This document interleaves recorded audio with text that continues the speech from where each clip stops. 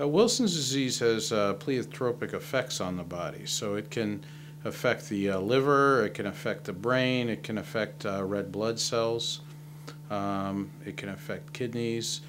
Uh, when it affects the brain, it can affect uh, motor function, causing tremor, difficulty swallowing, difficulty speaking.